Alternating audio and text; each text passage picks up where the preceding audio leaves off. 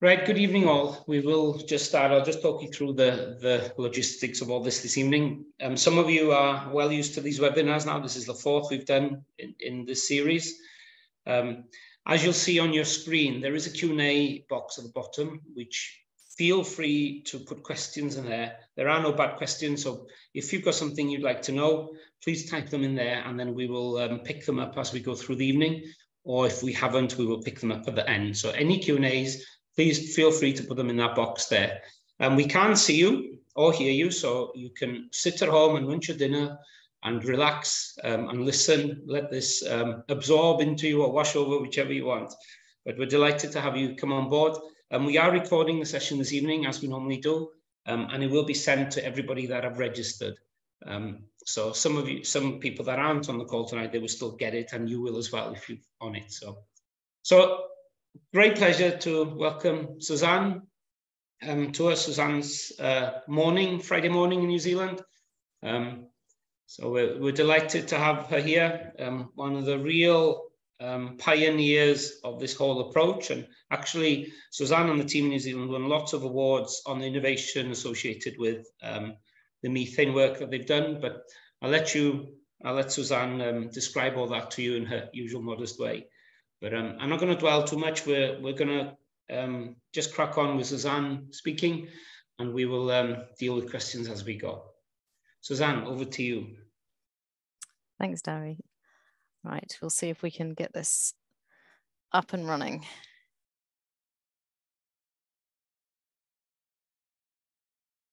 Okay, I'm hoping everyone can see that. Darry, can you? No, hasn't come up yet, Suzanne. Okay. Let's try again.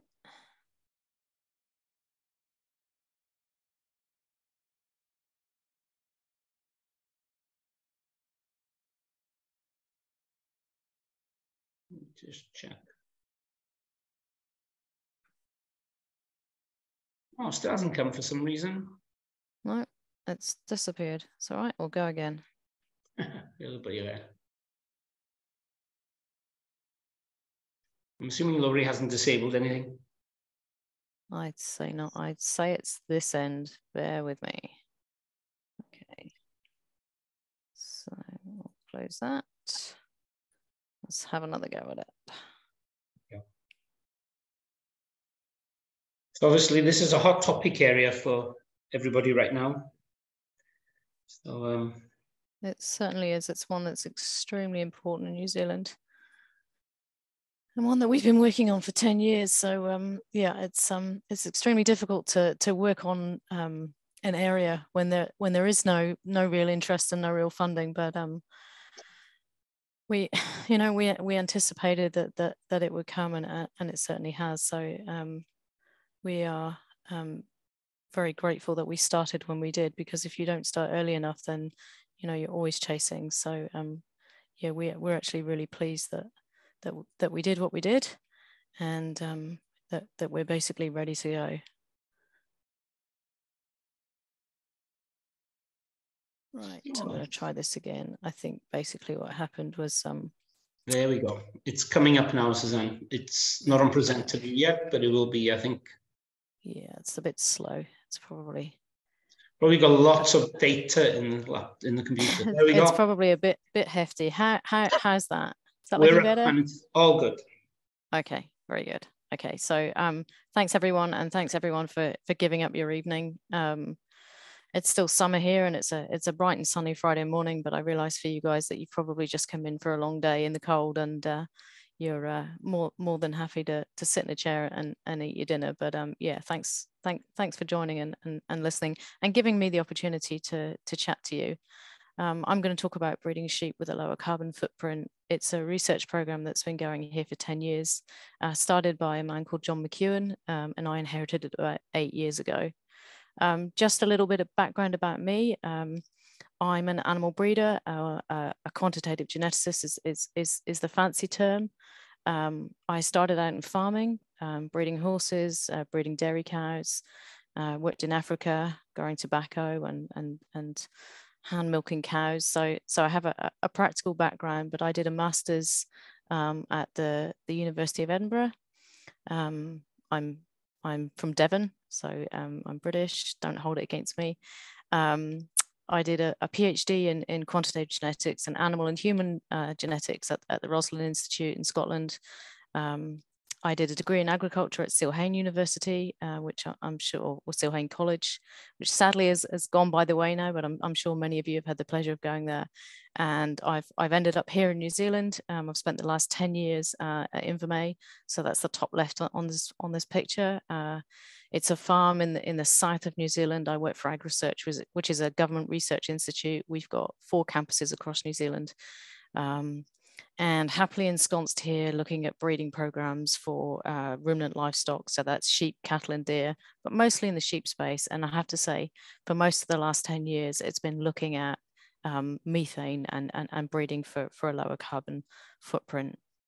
So I'll talk a little bit about the challenge that we face in New Zealand, um, the research program that we have in sheep, how it's been rolled out to industry, what we think the impact will be of the, of, of, of the research and the rollout to industry, um, and we're always moving forward. There's always something to do. So, so future work and, and, and what we're up to next. So the size of the problem in New Zealand, um, greenhouse gases in New Zealand uh, are dominated by agriculture. So 50% of all of the greenhouse gases that are produced come from agriculture and 80% of that comes from methane, enteric methane that's belched out by grazing animals. So that means a third of all of the greenhouse gases in New Zealand are attributed to grazing stock. Um, that puts the onus on the agricultural sector. So New Zealand has signed the, the Paris Agreement.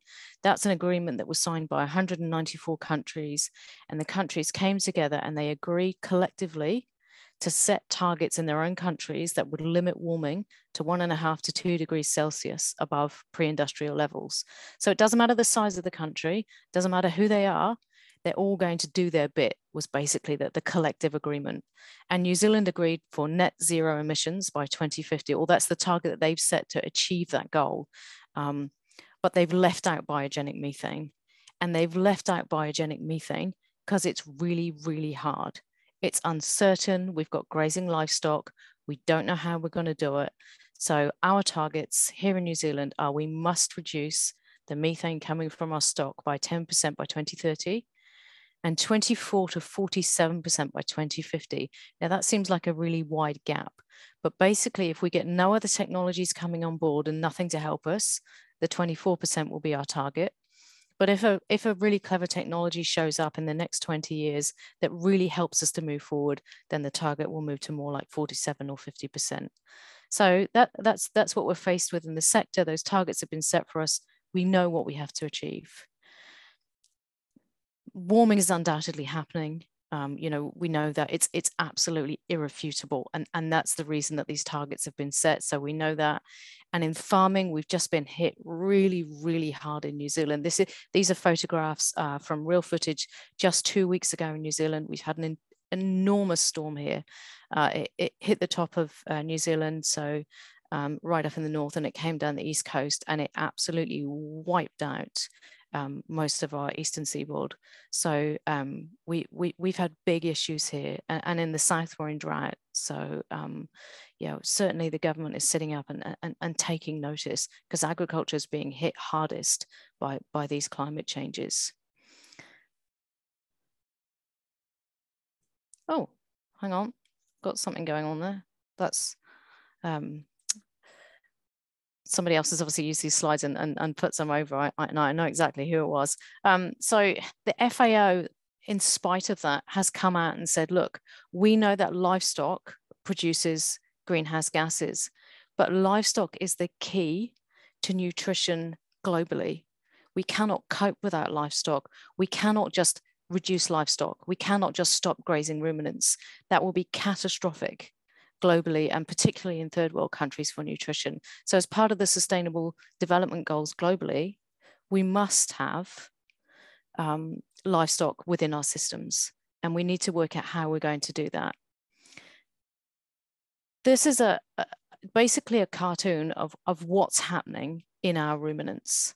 And what's happening is they're taking in feed. So this is a rumen um, and a, a rumen has some, some liquid in it, a soup, it has a raft of the grass that the animal's eating or forage or whatever it's eating, and it has some gas. And all that's happening with the animal, it's a really, really simple system. It's evolved for about 40 million years in that the animal takes in complex starch like grass, can't break it down itself. It's got a soup of microbes in there, and they break open the cell walls of the plant and they ferment it. And in doing so, they produce carbs for the animal. So they produce acetate, propionate, and butyrate. And all of these carb sources are slightly different in how the animal uses them. So acetate's the precursor for fat. Um, with propionate, we get more lean muscle. So depending on the bugs that sit in there, we'll get a slightly different fermentation and we'll get a slightly different composition of the animal. Whilst that's happening, the fermentation pathways give out gas. So this fermentation's got this off, off, and um, basically gas is being produced. It swells the room and it slows down fermentation, and we've got to get rid of it. And hydrogen is combined with carbon and it's belched out as methane. It's it's it's a beautiful system, works really really well. Those fermentation pathways are quite different. So propionate hardly, if, if at all, releases hydrogen, whereas acetate re releases lots of hydrogen. So um, what we know is that we can actually manipulate that pathway and produce less methane, but also that the animal itself has a set sort of, of microbes that are heritable, that are a function of the animal. So some animals have different fermentations naturally. They just naturally produce more propionate and less methane than others. Um, and and our goal was was to breed those animals, was to find them, select for them, um, and and basically come up with a system where we we've got a, a, a grazing ruminant that, that's producing less of the methane that's that's causing this this issue. Um, so the first cab off the rank was um, John McEwan, um, who you heard talking on the last slide actually. And what he did 10 years ago was take a, a thousand animals from all across New Zealand, and he chose progeny test flocks and, and flocks um, that were really relevant to industry. And he took animals from each of those flocks and he measured them in respiration chambers. A respiration chamber is, is, is basically a really fancy box with lots of, lots of gas tubes on it. And an animal's put in there for 48 hours at a time. It's very intensive. It's hugely expensive to do. It took him years to get all the animals through. But what he did was he screened off the animals that produce less methane and the animals that produce more methane, and he produced methane selection lines, and they're still going. So 10 years later, they're still going strong. They're in their, in their third generation, really, really small flock, 100 ewes in the low line, 100 ewes in the high line. And every year we breed the lows to the lows and the highs to the highs, and they're getting wider and wider and wider apart. Um, so what, what we're basically seeing now is that the whole flock is around about 12% different in methane, but the lambs that are hitting the ground, the lambs that hit the ground this year, uh, the low lambs were around 18% lower than, than, than the high lambs. So that gives us a resource. We know that it's inherited. We know it gets passed on to the next generation. Um, we can see it happening and we can test those lines. We can look at the differences between the lambs that hit the ground um, and, and we can basically see what's going on. And one of the most important Suzanne, things that we've just, done I've, is. Sorry, I've just got a question there, Suzanne, while you're on that yep. slide. Um, just asking, were there other trades selected for in that, or was it purely just methane? No, we purely select in the in the methane selection lines for methane alone. So we don't select for anything else. But probably the most important thing that I can say about that is that methane is produced proportional to the amount that the animal eats. So if you have a small animal or an animal not eating very much, it will of course produce less methane. So one of the most important things for us is that we didn't just select smaller sheep. That would have been really stupid. So what we do is we select on the amount of methane produced per kilogram of dry matter intake. So um, we, it's a trait that we call methane yield. So we don't want them to just produce less methane. We want them to eat the same to, to produce less methane for the same amount of food that they eat. Um, and, and that's what we've been selecting for. And we started off selecting on, on, on pellets um, in, in respiration chambers, which um, we were concerned that it wasn't the same trait as, as animals out on grass. Uh, so what we did was basically brought some animals back in, and over the course of a year, we had 48 rams that we brought in uh, periodically, put them through the respiration chambers again, and fed cut and carry grass. And we saw the same results in, in, in these ram lambs. We basically saw that the trait is the same at grass as it is on pellets. And that was a really important step forward. Um, for, for us because it showed us that what we were doing and what we were selecting for was producing less methane out at pasture whilst grazing. Um, and I would deny anyone, you know, the the if if if you if you go into the the field, you just can't see the difference between these animals, um, basically. Um, so um, what we then needed to do was think, okay, we can't spot we can't spot the animal in the paddock. So the lower and the highs are grazing quite cheerfully next to each other. They're all the same weight. Um, you know, it's it's it's really hard to know what's going on, but we do know that when we bring them in, we always see less methane. So what's happening? So what we did was we took the respiration chamber measurements, which they, they, those, those gas measures taken every six minutes, and we studied them across the day. And we found the one hour in the day that's most predictive. And we said, right, we'll go with that one hour. And, and, and basically what happens is that um, an animal eats and then for an hour after eating, the data's all over the place. So um, whilst that animal is just digesting that first hour of feed, the data is all over the place. But actually after that, it settles really nicely and animals tend to rank the same throughout the day as long as you avoid that crazy period just after eating. So what we did was um, produce a really, really simple chamber uh, and it, we started off with a Perspex box, and and, and we we actually um, got the idea from Australia. So they were first designed in Australia. So we've got this really simple Perspex box.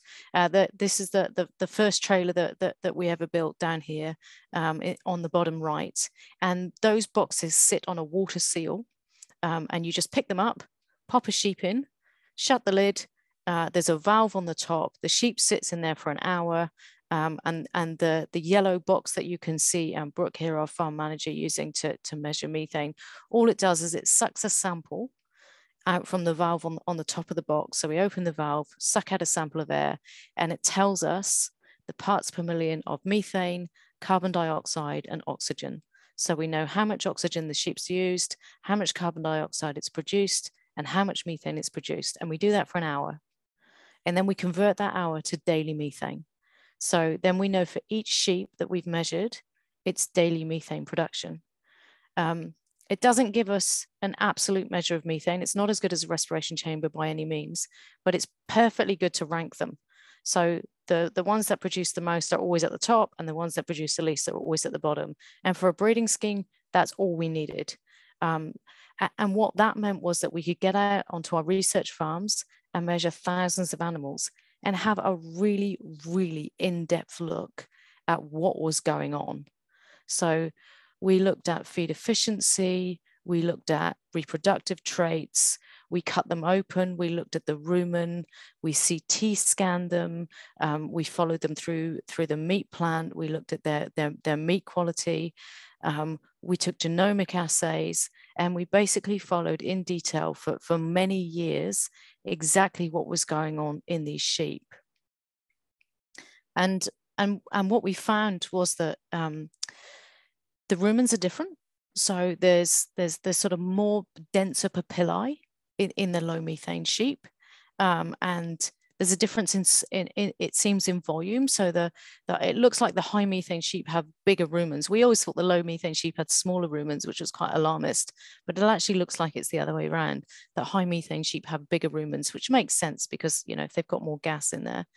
Um, in terms of feed, the low methane sheep seem to have a slightly different grazing habit in that they graze more often. So in a feed efficiency type scenario, they have more meals, uh, smaller meals, but more throughout the day. Whereas the, the high methane line tended to go grab a great big um, meal and sit and digest it somewhere for a few hours. Um, they grow more wool, which was a surprise, but um, must in some way be related to the fact that the biggest finding that was that the rumen um, microbes, so, so we took samples of the rumen microbes and we sequenced them. The rumen microbes are different. So I can take a sample using a simple stomach tube, I can pull out sort of um, 10 mils of fluid, or we're down to one mil now, um, and take a sample from a sheep. Uh, I can run it across an assay and I can predict how much methane she's going to produce by what's going on in the gut, by what sort of fermentation is being produced by these rumens. Uh, I can either take a direct assay of the, of the, of the, the VFAs or I can look at the microbes. And either way, what I see is that the low methane animal has a different fermentation going on, and she's got more pro propionate, which which we expect from biology. Um, and she tends to be leaner. She tends to have less fat, which which, which ties in. So we tend to have um, a, a, slightly higher carcass yield, yield on the lows. Um, and, and that's really shown in, in their maternal worth index. So what we have here is, is maternal worth. So that, that's our selection index. So that's our, our collection of, of traits. It's, it's in dollars. Um, this blue line um, is, the, is the average flock in, in New Zealand. Uh, the orange line is, is um, a research flock that's really high performing um, of about 750 ewes. Uh, the green line is the low methane sheep. So that's our line of, of low methane and the, and the red line is our high methane sheep. Um, and we kept this quiet for a really, really long time because we were kind of worried it would be founder effects and we didn't want to give false hope. But it seems over the 10 years that, that, that it's, it's, it's still happening in that the low methane animal seems to be much more profitable than the high methane animal. Um, we get more lean growth. Um, um, and we tend to get better parasite resistance and we and we get more wool. So there's there's a few things that seem to be driving that profitability. Um, but most traits actually don't differ between the high and the low lines. But we are seeing a little bit more profitability, and I think it's it, it, it's it's that killing out percentage and, and, and that parasite resistance that we're seeing. So we we had a good news story. Uh, you know, it, it, it was looking good and the next stage really was to say well okay what happens if we go out into a high performance flock? What happens if we take our research flock and actually put our money where our mouth is and say well we've shown we can breed for low methane. So now we're going to take this flock that's been flying for years and we're going to add methane into the selection index. And this was terrifying for me because I hadn't taken on this flock that long before this happened. So I basically changed in the research flock um, what we were breeding for. I added methane into the index. So we predicted breeding values based on the first year of, of measuring the, the um, ram lambs in, this um, flock. And we looked at, so there are 22 lines, genetic lines in this flock we took each of the lines and we selected the best son for each line and we looked at the average production index. And what we found was that it was $36.65. So we thought, okay, we're going to add methane. We're going to add methane to the index and see how everything re-ranks. And they didn't actually re-rank that much. So I was I wasn't taking the top sons for production, but I was probably taking about the third top. Um, and I lost about a dollar in production overall um, but I gained about a dollar because methane had a value. Um, so in general, I wasn't actually changing the profitability too much. But what I did see was that if I looked at the actual methane that I expected to, to change in a generation, instead of gaining about 1.7% methane per generation, which we were doing, the prediction was that I would lose about 4%. So there's a 6% difference in the methane production based on inserting methane into my maternal index and I'm not losing much production. So away we went. Um, and to cut a long story short, we, we've seen it borne out. So that, that was in around about 27, 2018. Um, production has kept going up in this flock. So these are real numbers. Um, and methane here, you can see it zigzagged around for a while. It's coming down and it's coming down at around about 2% a year. So the theory worked. We've seen it in practice. We've got this research flock on the ground, and, and, and we're continuing to look at it going forward. Um, and, and for me, that's a lot more relevant than a selection line, which is only selected for methane. So, Suzanne, can I just, there's just a question asking, you know, the maternal worth. Is that a cross flock in that, or is it within the selection flock?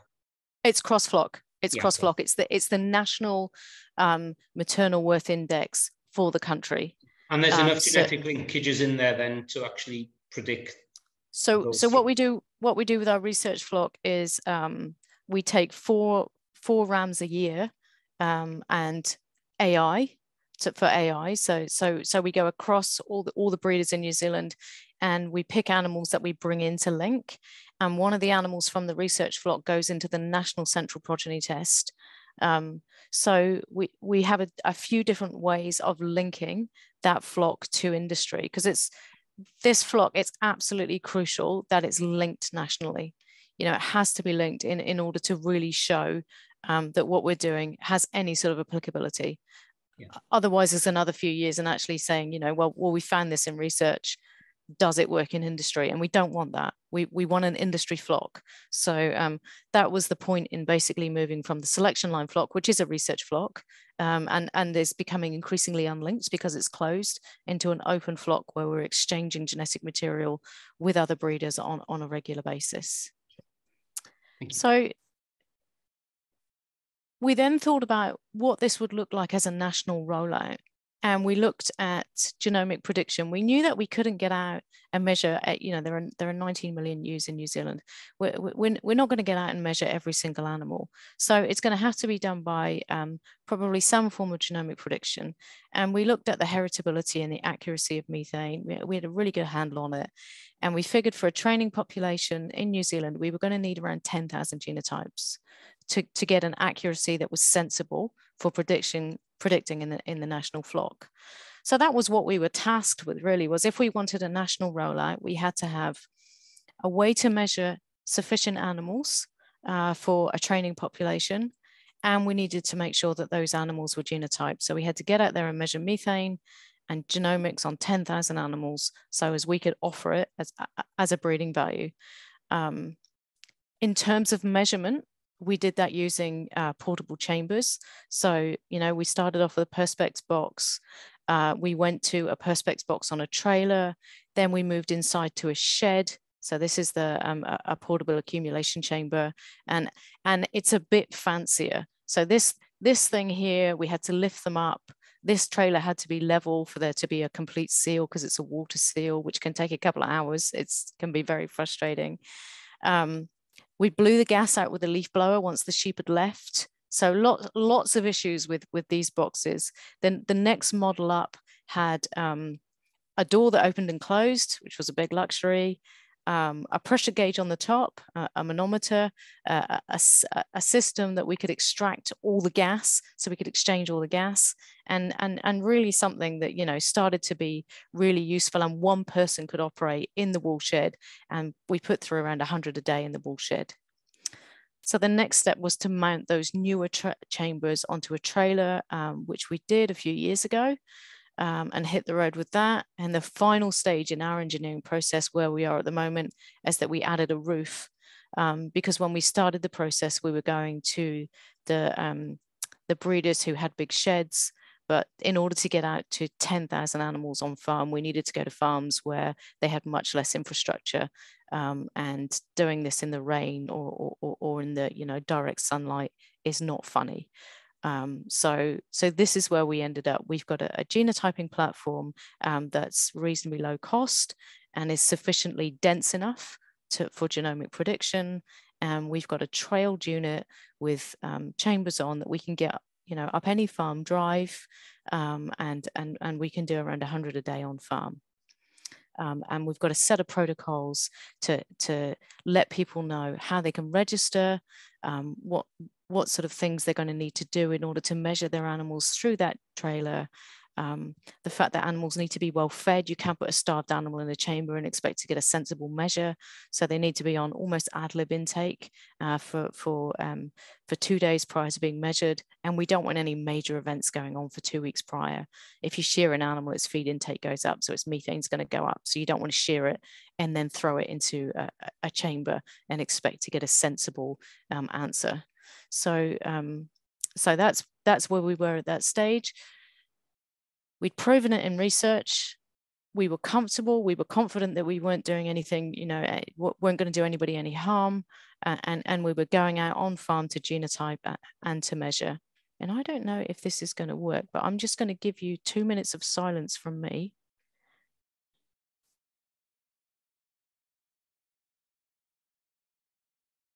It's playing, it's good.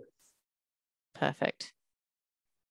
So this is just the trailer in action. I thought you might like to see actually what happens and the guy's actually doing some work.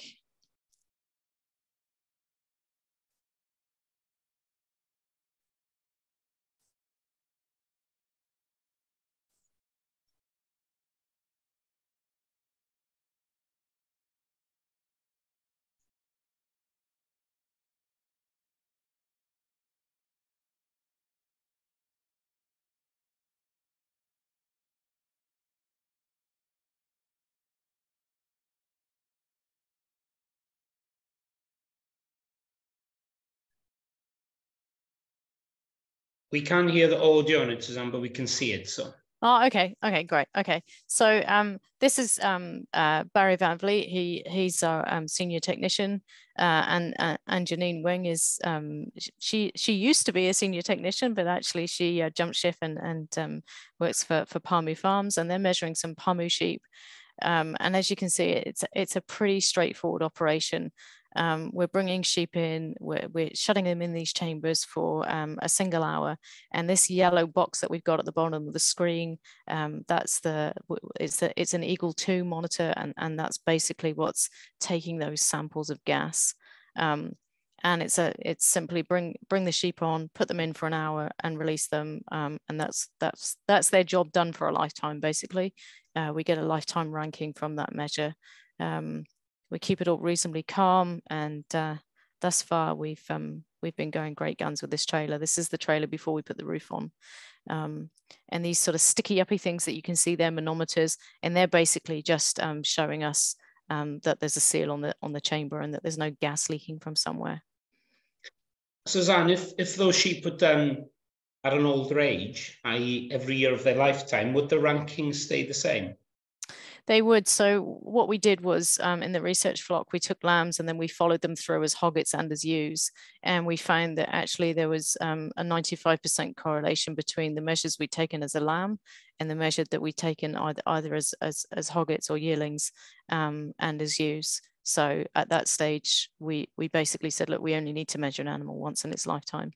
Um, we started off measuring animals twice, which is what we'd done with the respiration chambers. So we measured them once, and then we drove the trailer around to a different farm. And then two weeks later, we came back and remeasured them.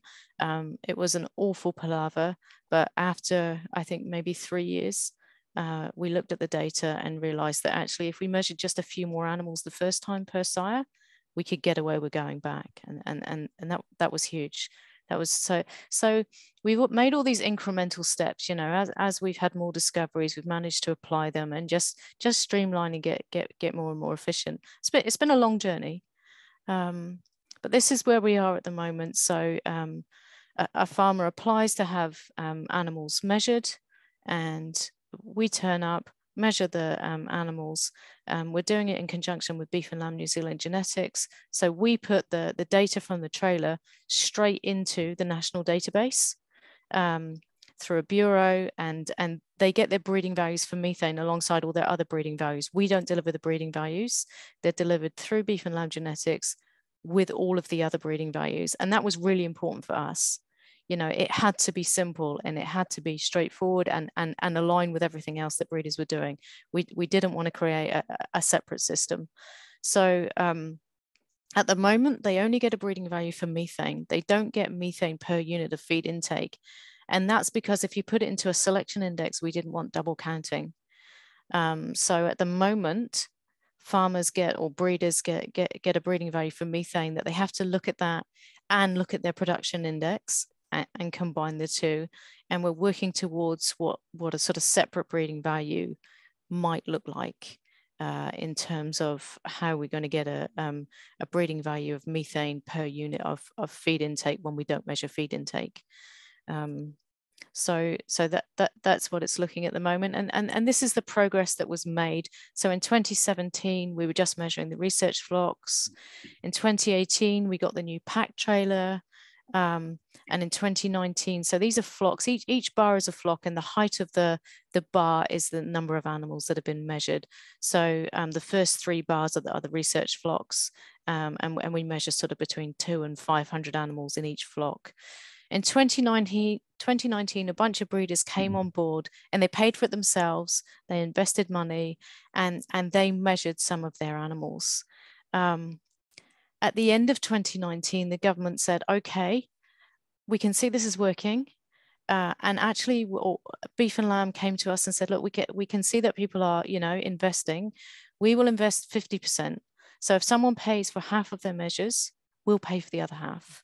And, and that, that gave us a flurry of activity in 2020. Um, at the end of 2020, we went to this single measure. So before that, we were doing two measures per farm. So um, breeders were paying for two measures. Um, so they went from paying from one measure and the government paying for the other measure to paying for half a measure because we went to a single measure. Uh, so in 2021, we measured around 5,000 animals.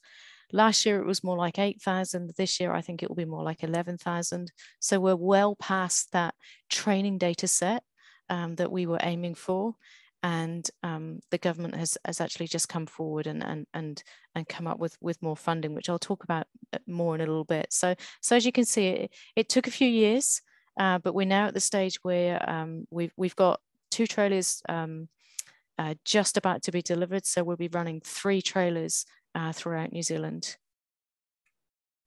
And this is what the breeding values look like. And, and this is something that, that um, was really interesting to me. I'm constantly being approached by people and saying, is it a breed effect? Um, you know, um, I, I want to check my breed.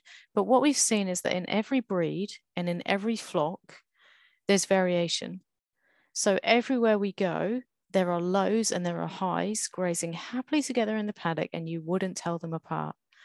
Um, and most breeders can look down through their, their ram list, and in, in that sort of top five or 10 rams, there'll be high producers and there'll be low producers.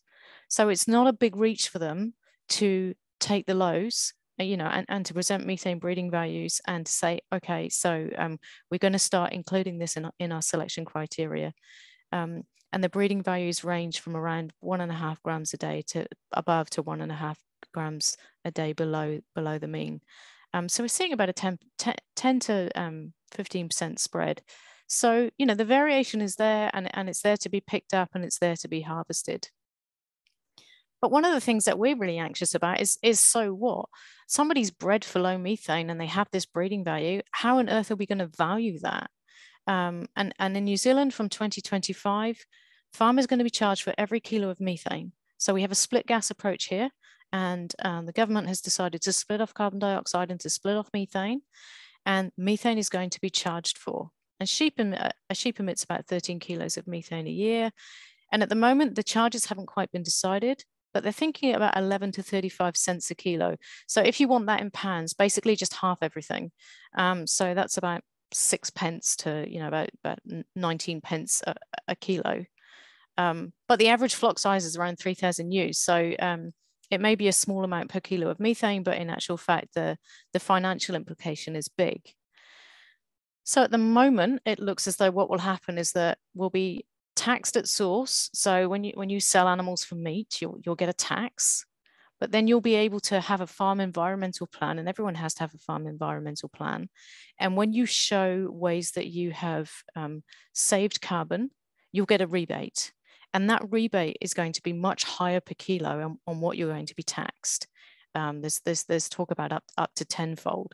So there's going to be incentives to um, save carbon and there's going to be a tax to produce it or to produce methane. But back to the BVs, we, we need them to be able to contribute to this environmental plan and to those calculations. So um, what we've put forward is that the breeding values are expressed as a percentage. So um, if your RAM team on your farm uh, has um, a, a, methane breeding value um, or an average methane breeding value, that's 90% of the average um, nationally. Um, that 10% is used for you to claim your rebate. Um, and that's auditable. You know, it's it's it's relatively straightforward. You can just, um, I say just, we all know that it's not just, but but you would be able to prove using genomics um, that these rams are the rams that you've used in in your flock um, and that you are producing less methane um, per unit of feed intake than, than somebody who isn't, isn't selecting for it. Um, and that's the part that we're working on now. And that's the really crucial bit, actually, because if we don't get those calculations in and it's not part of the farm environmental plan, then probably everything that we've done, you know, or, or although we know that we're, we're, we're, contributing to less warming on the planet, um, we won't get any sort of financial compensation for it. And in terms Suzanne, of sorry, just before we move on, there was one question of, is there any trade-offs with reduced methane and CO2? Does the reduction in methane have any impact on the CO2 or not, as far as you're aware? Um, I'll, I'll, I'll, I'll talk a little bit about that later. And then okay, if we'll I haven't answered the question, we'll come back to it. Okay. Um, but ask me at the end if I didn't answer it, please. Um, so um, we're now at the stage where we are trying to show national impact. Uh, we, we, we talked to the government and said, well, look, if you invest uh, to phenotype 5,000 ram lambs a year, which is about 5% of the breeding tier, um, and, and, and we genotype them, but also we, we do a high density um, scan um, of 600,000 markers on, on the key industry sires that, that, that come into the system each year. Um, we think that breeders will adopt genotyping at, at around about 10% per year. So at the moment, it's around 30% adoption. Um, we'll catch the benefits being passed on to commercial lambs and the commercial farmer who buys those rams, and, and, and we'll estimate what, what it looks like in, in, the, in the commercial tier. So we assume a half percent reduction in methane emissions per year um, on a commercial farm. We know we can get much higher in the research flocks, but we think that half percent is a sane and sensible prediction with no effect on production. Um, full adoption in, in, in year eight. Uh, phenotyping costs, so it costs 40, 40 New Zealand dollars to uh, measure an animal through, through, through the pet chambers. Uh, so about 20 pounds an animal. Genotyping costs, we have a 60K here and, and it's 26 New Zealand dollars. So about 13 pounds for genotyping. Um, no money coming in until year eight because, you know, we're basically um, we have a lag phase where if you breed something, you have to wait a couple of generations before it comes through um, and no change in the trait because of that until year six. And we looked at different global warming potential um, valuations of, of, of carbon. So I'm going to say something about that really quickly before I before I go on to national impact because it confuses a lot of people. Um, around what what on earth GWP what GWP 100 you hear bandied around and then you hear GWP warming equivalent and GWP star.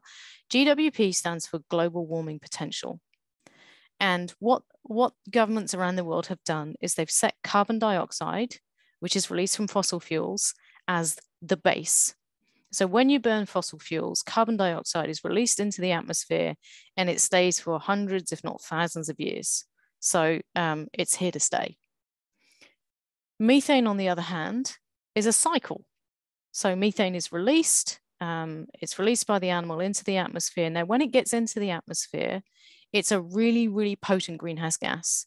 So it traps more heat than carbon dioxide does. So it has a higher um, global warming potential, but it only stays in the atmosphere for around 12 years and, th and then it goes around the cycle again. So there's this sort of um, trade-off between the fact that it's much more potent than CO2, but, but it's much shorter lived. GWP 100 says, if I release um, an amount of CO2 into the atmosphere for 100 years and the same amount of methane, what's the difference in global, global warming potential? And basically what the governments around the world are, um, are using is around 28 to 30 times more warming potential from methane than carbon dioxide. So that, that, that's what they've, they've set all their figures on. There should have been an another, oh, there it is.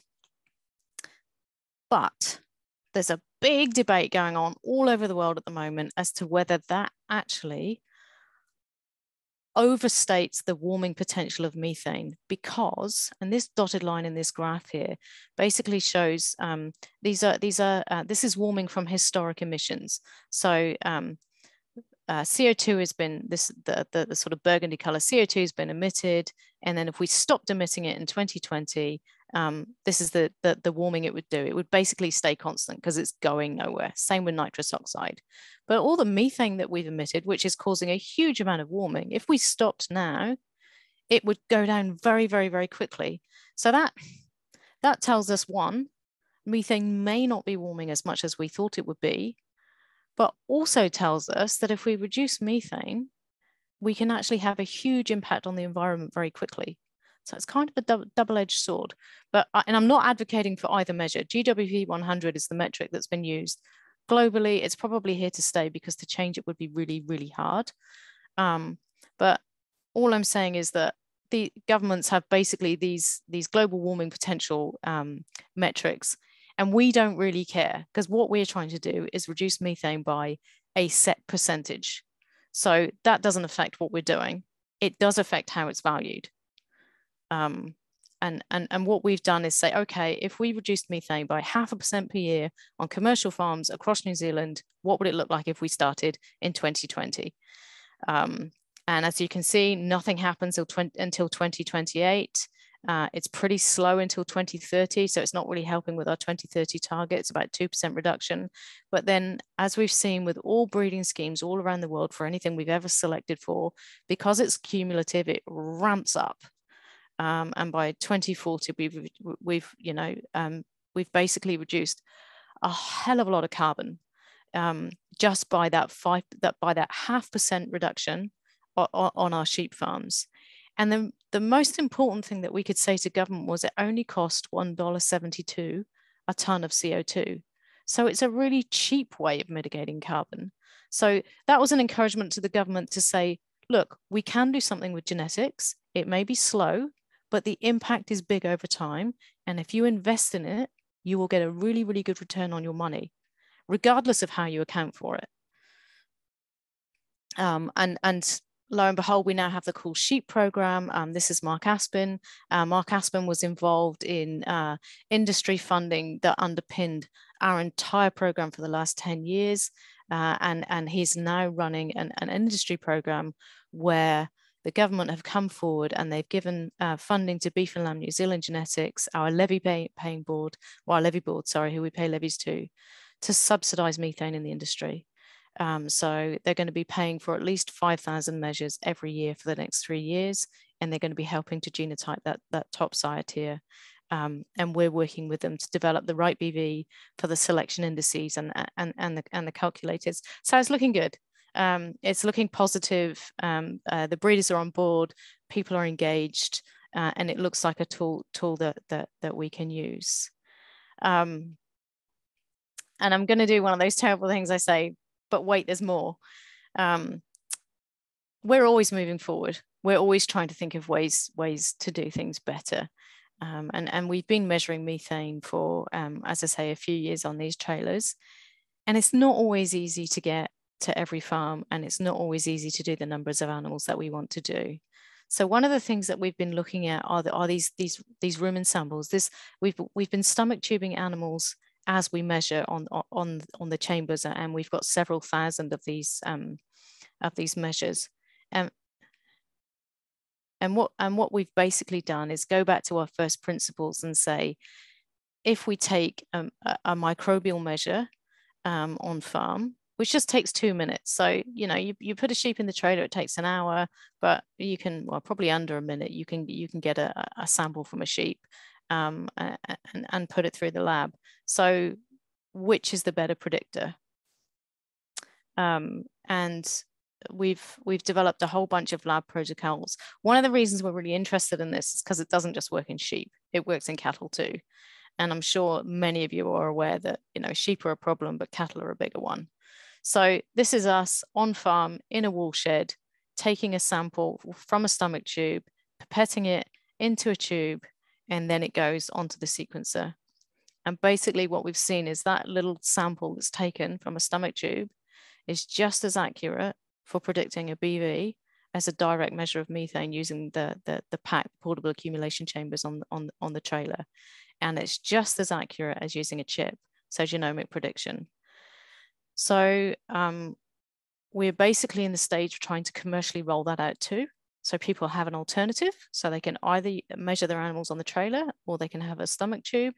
Um, but one of the things that we're really working hard on is whether we can use a buccal swab instead of, of sticking a tube down an animal's throat. Um, because um, a lot of people don't like the idea of that, uh, particularly consumers. Whereas a mouth swab that collects the microbial DNA that's you know um, in a, in a ruminating animal and gives us a prediction is, is, is much easier to swallow for for um, general the general public. Um, and what we expect to do is combine the BVs. So some people can have animals measured on the trailer, some people can have animals measured using the, the swabs, um, and they all go into the same um, prediction um, and, you know, and, and, and breeding values. It, it, doesn't it doesn't matter basically which phenotype you used. So that's that's pretty much where we are at the moment. Um, and we're also looking at if if the microbes in the rumen are predictive of methane, but it's the fermentation change that's that's where the action is, then that fermentation change actually is producing a slightly different fatty acid profile in our meat and our milk. And what we've seen is that if we look at the fatty acids that are present in meat and milk, there's also there's a signature there for what's happening in the rumen. So um, holy grail for us is that herd tests come in or um, at slaughter, we can take a meat sample and get a methane BV and we never have to touch the animal. Um, so um, that's another program of work that, that, that we're heavily invested in. So always moving forward, always trying to find new phenotypes and, you know, and, and, and, and new things. And I promise I'm going to stop talking within a couple of slides. But the other thing I wanted to talk about was other mitigation options. Breeding is slow and it may not do the full job. So um, in New Zealand, there are other strains of, of research. Um, we've got low methane feeds, such as brassicas. We don't know what feeding level they should be at to make a difference, but we know that they reduce methane. Uh, we've got something that you'll hear um, bandied around 3NOP um, and, and, seaweed. These are um, basically things that have been shown to reduce methane by big amounts um, but you need to feed them. And most of them you need to feed either daily or twice daily.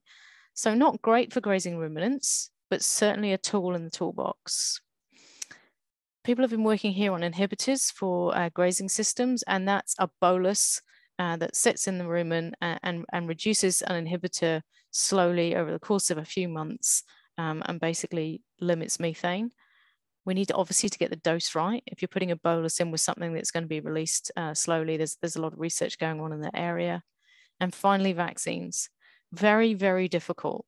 Um, you know, we were very lucky that a COVID vaccine could be developed overnight. In, in, in, in most cases, that can't be done. So this has been a 10-year program and it's still probably a few years away yet. But obviously, a vaccine is something that could be used in, in ruminants, in sheep, cattle, deer, and, and, and would be a one hit. So um, there's research in those areas. What we don't know is what the impact any of those tools would have on our low methane animals. We've got no idea, and, and there's, a, there's a term being traded around here called stackability.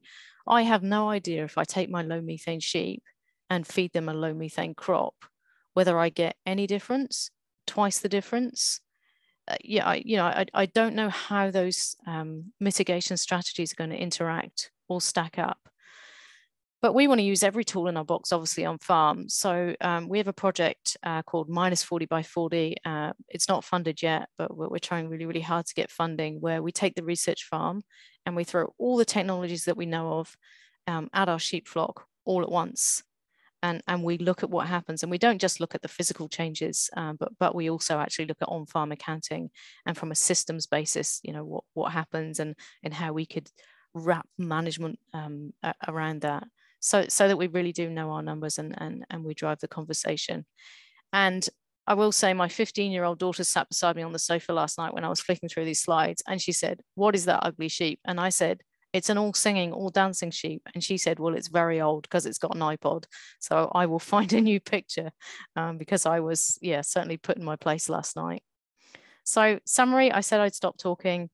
Breeding's extremely cost-effective way to reduce methane, and we haven't seen any detrimental side effects to date. Um, we think that you can lower by around half to 1% in industry without impacting on production. Um, it needs to be an accountable and measurable method because it needs to go into these um, these climate panel calculators because they're just counting noses at the moment. So we need to make sure that the work that we do is is is recognised. Um, and, and, and for us, in terms of implementation at the moment, we've got our Cool Sheep project, where the government and, and beef and lamb are, are helping people by, by paying for those measures. Um, we are trying to estimate how these breeding values should look in the calculators. We're working really hard on, on new proxies, new ways to measure methane and predict it. Um, and we really want to know the additivity of these strategies. And with that, I will stop. And um, oh, actually, I will say this is a global effort. Um, over the last few years, we have sent chambers to Norway, we have sent chambers to Ireland, uh, we've got chambers going to Scotland, um, and there's a there's a group of researchers who are working really hard around the world together. Uh, so Uruguay's in our project, Turkey's in our project, working really really hard. Uh, France is France is in there too, uh, to to work together to make sure that we don't leave any stone unturned. So we're trying really hard not to compete in this in this kind of space in the, in this environmental space, but to collaborate and go as fast as we can. Um, and lots of people obviously um, attributed, you know, the the massive team and and lots of funding. So now now I promise I will stop. I'll stop sharing. So you can see me, although I can't see you, unfortunately. Thank you, Suzanne. That's really comprehensive. And, and again, it just shows, thank God John McEwan had the foresight, as he always does. And thank God you and your team have carried it on because it's really useful research work that companies like us and our industry over here can really work with. You've done a lot of the hard legwork, and we're very fortunate to be able to actually ride on the back of that. So I think whenever people say, you know, um, Kiwi farmers and researchers are, are effectively the competitors of the UK. This is a very good example where we work together and we can actually really help lamb in terms of its space on the shelf and its place on farms and, and the environment. So thank you very much for that. We've got a heap of questions, as you would imagine. Um, and thank you all for being patient with them. I really didn't want to stop Susanna in her flow because she was answering quite a few as we went along. So I, I will run through them, Susanna, just to just to um, deal with a few that we may not have um, covered. One of them, since we finished off on some of the microbiomes, um, are you selecting for the microbiome, microbiome genetics rather than the sheep's genetics in the future, do you think, or not? So it seems that the sheep in somehow controls the, the microbes in her gut. So we are selecting the sheep that hosts the right fermentation. So it, it seems, uh, uh, and if you think about it, obviously a sheep has to be able to control that symbiotic procedure because otherwise she'd be overwhelmed by microbes. So there's something about the environment of the sheep that encourages a certain type of, of, of, of microbe mix. We don't know what it is. Um, we're, we're obviously, you know, fascinated and working really hard to try and find out. But what we're doing is we're finding the, the, the profile that we like, that, that fits, and we're breeding for the sheep that hosts it. We don't know how she's doing it. We just know that we want her. Sure.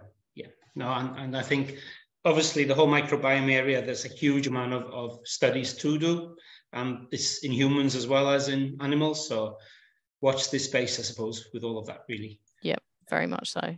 Um, just just back down to sort of um, grassroots farming level. We've got a few questions here. Um, we've got one, for example, obviously somebody that's actually got some contacts in New Zealand, um, suggesting that there's a few New Zealand that are seized on the smaller rumen um, that and worried that they won't do as well on sort of the hill country.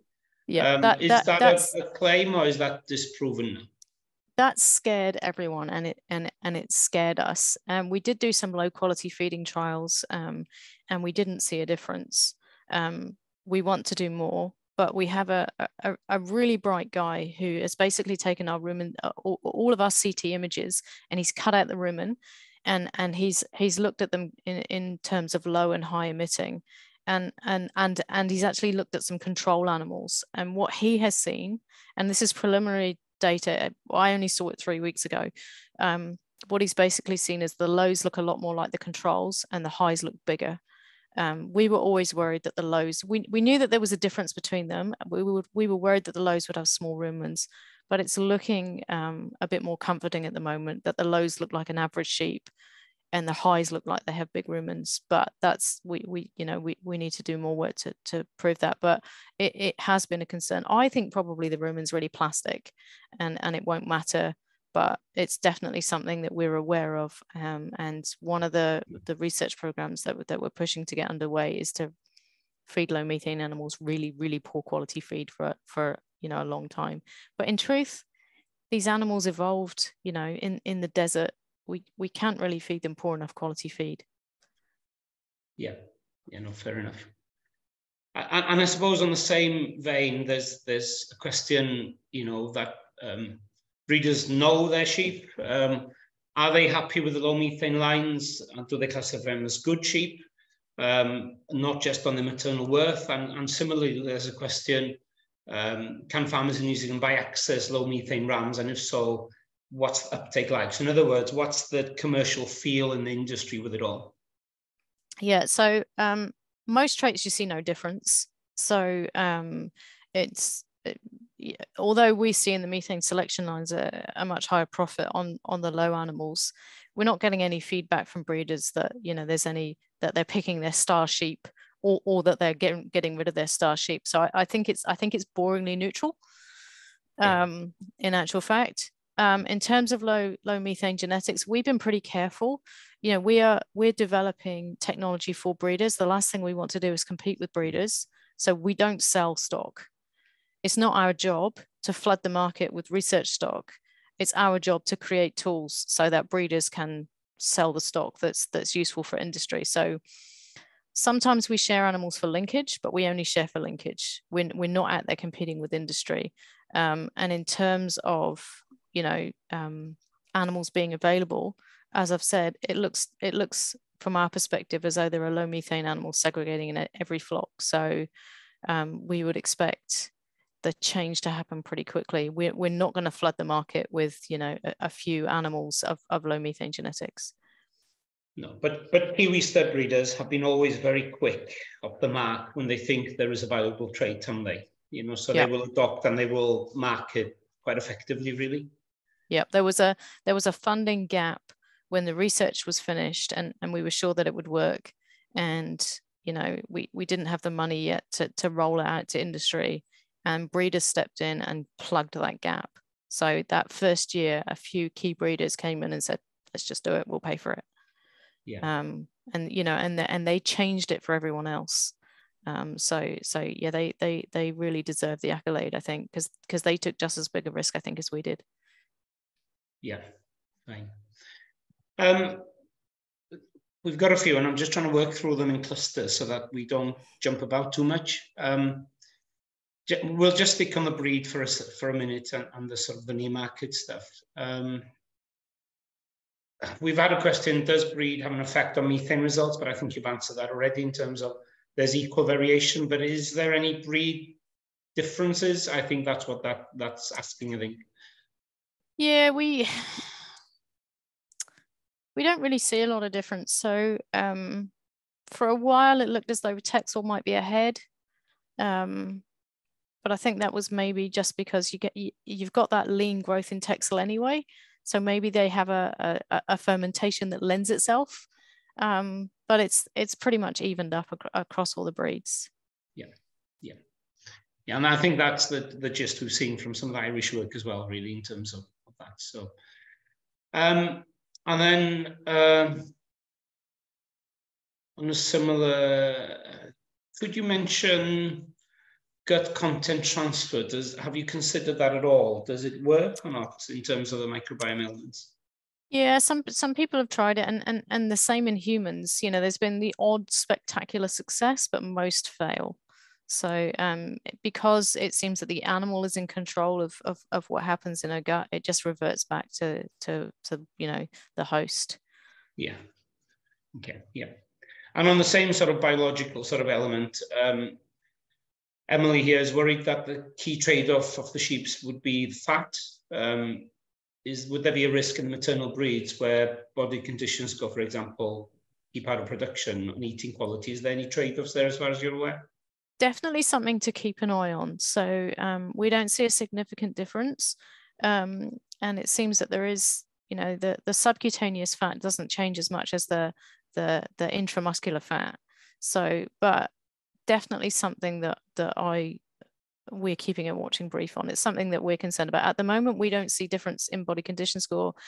Um, hmm. but there is a trend towards um, lower body condition score in the lows, and we don't see any difference in lamb survival, which is the other thing we're keeping, a, you know, keeping an eye on. Um, so I think Emily's right to, you know, just be keeping an eye on it. Yeah, no, grand. And Stephen's asking, is there any genomic links, or genomic predictors yet, any gene specific references or not? No, and I think it's because it's a really fundamental trait because it's evolved for so many years that it's controlled by, you know, we, we know it's we know it's genomic because we can get a genomic prediction, but it seems that we need the whole genome to predict it. There's no one small area or one gene that's giving us the answer. Be great if it was a single gene, but no, we we see very little in terms of large effects. Yeah, no, Grant, thank you. And, and Mark's got a, raft of questions here, but I'll just summarize them into some of it really. Um, Hi, Mark. obviously, um, obviously um, measuring methane, measuring rumen sample, feed efficiency, where we're adding them effectively stacking currently in your approach is there a cost effective breakdown on any of them or not you know can, would you predict that there's one way to go or are we going to need all of them so one of the things that we would really like to do is the PAC chamber gives us a full suite of gases um, and total gas emitted from a sheep is an indication of her metabolic rate. Um, if we could use that as a prediction of feed intake and get feed efficiency and methane from the same measure, then we would be making strides ahead. So at the moment, what we're really interested in is how can we get feed intake out of what we're already doing? And that the rumen microbiome is also actually really quite predictive of feed efficiency. So we've always got our eye on feed efficiency because feed costs are, are much bigger than anything else that you know that that that we deal with. So we are constantly trying to predict feed intake one, so we know methane per unit of feed intake, but two, because feed efficiency in our systems uh, is, is it's a very heritable trait and it's something we really want to go after. So um, I want all of them basically. I want them all and I want them all at once. And that and that's what I'm going for. I'm not giving up on any of them just yet. Thanks, Suzanne. And, and Mark's making some very valid points and clapping very hard that that the presentation is even more compelling than what anybody expected and very well done, Suzanne. So oh, thank you. so, So there you go. Um, just pick up a few of the things. Um, uh, we've dealt with the trade-off, I think, on the on the on the CO2. Hopefully, Emily, that's answered your question because I think in, in that whole element. Uh, there was a, a, question to just explain what GWP stood for. Um, and similarly, uh, was the alternative to GWP 100, GWP star. So I'm not quite sure what either means, to be honest with you, Suzanne. Yeah, so GWP 100 is this warming potential that basically the government's saying that methane warms the environment over 100 years by about 28 times more than carbon dioxide does. GWP star or GWC, GWP warming equivalent, which are basically the same thing, say that actually um, it's about a three, it's threefold less than that. So um, they're quite different. One, one is saying you know, this is the warming potential and this is how we convert methane to carbon dioxide. And the other is saying, well, no, actually, methane isn't warming the environment by that much because it's it's being taken out of the environment after 12 years. So um, it's a battle that's going on with um, climatologists and the economists have got involved. And, you know, it's I'm not a climate expert, so I don't know which one the right one is. Um, but it's good to know that people are basically challenging and thinking about it and, and hopefully they'll come up with a, a, a reasonable solution. Yeah. Grant, um, very valid question here, which we haven't touched on, but but we know ourselves that is that is very pertinent. Is what effects do internal parasites have on methane output? We haven't we we've seen very little in actual fact. Um, so we've got a um, researcher here, Catherine McRae, who's very, very interested in parasites. So, um, and, and we um, do a fecal egg challenge on all of our research animals. So, so we've measured them through that. Um, if an animal is parasitized and it's not eating very much and it's got poor thrift, it's not going to produce much methane.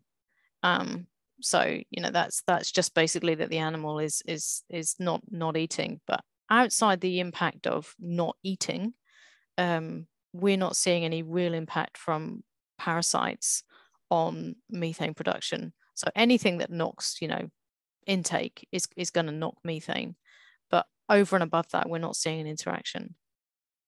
Okay, thanks. Um, I think I'm just picking up a few loose ones here. Um, Peters was saying you can't see any difference in the paddock, but you can measure the differences on performance, which I think you've answered and and and said that you can see the differences in performance, obviously, but not that visible in the paddock. Um, and then uh, Clive up in Aberdeen, again dwelling back on their ability to digest poor forage. Um, is that forage likely to have an impact on what's going on? And I think you've covered elements of that, Suzanne, haven't you? Yeah, I mean, we we haven't seen um, them not cope with poor forage. As I say, I think when we think about sheep evolving to graze poor forage, they evolved on on C4 grasses, and and we just you know with with the grass that we feed sheep in in our systems, we would I don't think we would ever get to that level. Um, you know, we, we, we're not in the Middle East and and and you know they're, they're not they're not grazing the Serengeti so I, I, yeah. I don't honestly think that we'll ever hit that boundary but obviously keeping a watching brief yeah. Um, I'm just going from the top. Uh, Mark was asking some questions about um, New Zealand policy which I don't think probably is where, where your presentation is at in terms of where you're supplying meat and stuff for so I'm going to dismiss that one. We'll answer another day Mark. And the same with economics and ethics. Um, we'll um, pass on to that one. Um, yeah, although it, it is valid in that, um, you know, a lot of the breeders are coming to the table because they know that their markets are, are going to be aware of, of what they're doing. And if they do nothing, then there's a chance that, you know, there will be trade tariffs and they will deny themselves to markets. So it's, it's, it's a driver Sure. And your meat companies, your processors are pushing quite hard, you know, Silver Fern and Alliance in various countries with their various, you know, carbon neutral yeah. meat. Yeah. And so that's already happening, obviously, and competing quite hard in, in that world market. The last thing we want to do is is cut off market access. So, you know, it's it's important for that alone. Yeah, yeah. Okay, I think we're pretty much there. Um, there is a question I think you have covered in your slide, but it probably won't hurt again, Suzanne, just to how you disseminating results to industry. You have a guide to farmers, and I saw you did put some of those in, but maybe just worth reiterating that. Uh, yep. So um, we've we've got a website where someone can go along and and basically just look at um, the FAQs. But basically, we we take um, the measures, they go into the, the beef and lamb database and, and, and, and breeding values come back.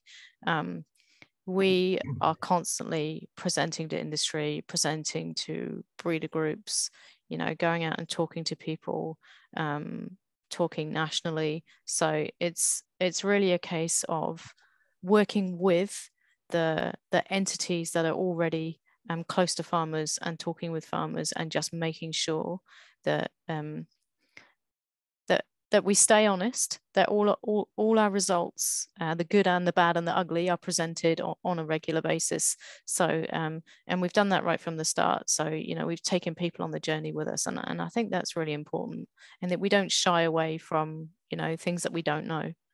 Yeah, and obviously government stepping up as they are currently, that's a very clear statement to the farming community, isn't it?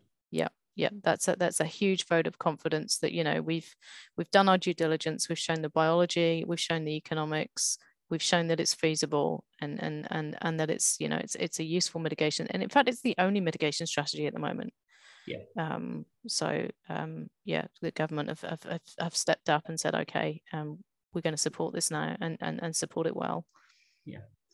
And, and just as a last question, well, a statement really, uh, Mark here saying that, you know, the description of opportunity based on the variation of this trait is the most convincing thing and the UK must exploit this technology. Um, and probably just worth mentioning to the people on the call, um, Suzanne's already mentioned there is a, a, set of PAC chambers on the way up to Scotland. Um, we'll be there in a few weeks, I think, and, and obviously um, the Scottish colleges up there will be looking to, to introduce them into where they can in terms of research and commercial application. Likewise, we have a set of PAC chambers um, due to be uh, hitting the high seas end of March now and should be with us by, I would hope, May, June. Um, so again, we'll be instigating that as part of the Innovis breeding program. And we're also in discussions with some of the Xlanas, the performance recorded cleans, um, Dorset, um, to actually try to instigate some of this in the UK to try and really move forward with it. So, and again, we're doing that very much on um, the brilliant work that AgResearch have done. Um, and we will be keeping very, very close um, links to actually make sure that we're not um, reinventing the wheel and, and that we're at the, at the forefront of it. So again, we thank you very much, Susanna, for that. Um, obviously, there are lots of things to, to, consider and lots of extra things to come on board with it. Um, I would stress to farmers, though, that um, there are some substantial gains you can make just in your production efficiency um, currently in terms of your, your systems. So things like ewe mature weight, um, things like replacement rates, things like reduction in lamb losses, longevity of your ewes, those are all key um, technical um, performance drivers that have a real big impact on the footprint of your flock. So whilst we develop and work with the direct methane measurements, um, there is lots of stuff you can do based on your current sort of breeding policies in trying to do that really. Um, so yeah, um, I'm just seeing if there's, there's a few come in, but I think uh, lots of, of people saying very good presentation um, and practically taking all of this on board. Um, and I think that's probably yes. so I'm I'm happy to take queries or, or questions or you know um, afterwards and um, any, anybody who who who gets on a plane because we can get on a plane these days and and and, and is in our neck of the woods please come and visit us um, our doors are always open. So, you know, if, if, if you get a trip to New Zealand for a wedding or something, come and see us at the same time. Thank you, Suzanne. And we'll obviously be in very close contact when these things are hitting our shores to make sure that we can get around the country and get these measurements working on them. Um, and uh, I think we're going to probably pull it to a close unless there's any specific, there's lots of statements here. Um, uh, Emily wants a trip to New Zealand again. Uh, there we go. Great job. Well, thank you, everybody. Thank you, obviously, to Suzanne. That's really, really good, really applied, takes us through it in a logical way. So um, enjoy the Fridays before the weekend. So, and uh, keep out of that bad weather. And thank you very much for everything. Awesome. Thanks, Dewi. Thank you. Thank you all. Um, there will be a recording, obviously, for people um, that will be sent to you. Um, You'll also be able to see some of the other um, webinars that have been. So the last one we did was on iceberg diseases. And again, some of those have a huge impact on your carbon footprint. Things like some of the iceberg diseases that cause severe wastage and production losses at your flock.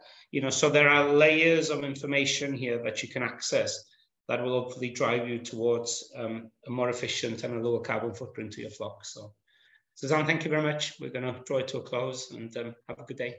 Thank you all. Thanks, everyone. Yes, bye-bye.